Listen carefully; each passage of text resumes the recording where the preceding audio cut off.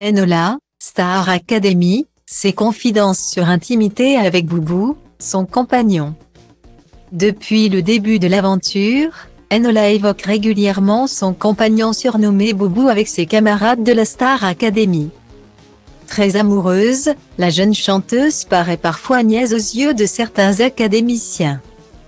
Ce fut le cas dans le regard de Léa qui n'a pas hésité à l'imiter en masterclass avec Michael Gregorio et sur le prime du 12 novembre 2022. L'intéressée avait d'ailleurs été quelque peu gênée d'être présentée comme une jeune femme gaga de son compagnon.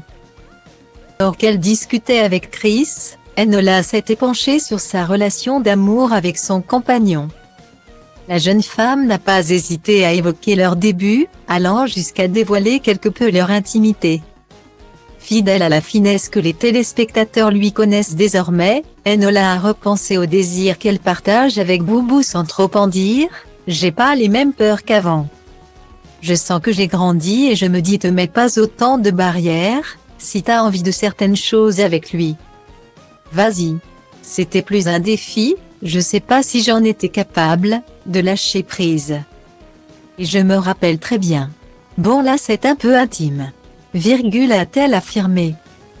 La jeune artiste s'est notamment laissée aller à partager avec son camarade la manière avec laquelle son compagnon a préféré la chasteté au début de leur relation.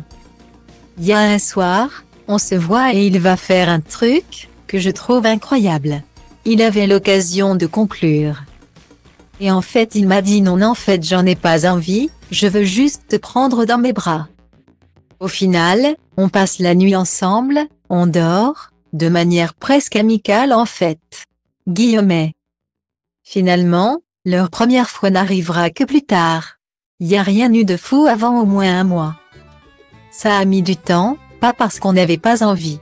Faudrait que je lui demande pourquoi il a pris ce temps. Virgule un mois c'est pas énorme quand c'est ton premier amour, quand c'est le début. Quand t'as des blocages physiques, émotionnels mais nous, il n'y avait pas de blocage. On était très heureux dans notre vie. Y avait rien, n'y avait pas de pudeur. Une belle déclaration à celui qui lui manque beaucoup depuis le début de l'aventure.